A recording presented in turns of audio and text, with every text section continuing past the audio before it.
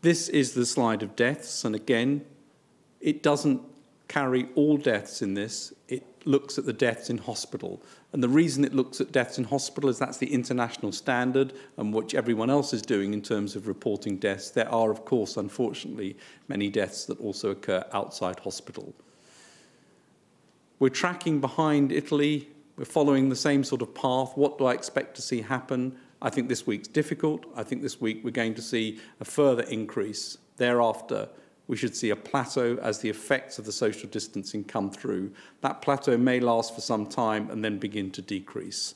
That's what we'd expect to see in this very unfortunate uh, death curve.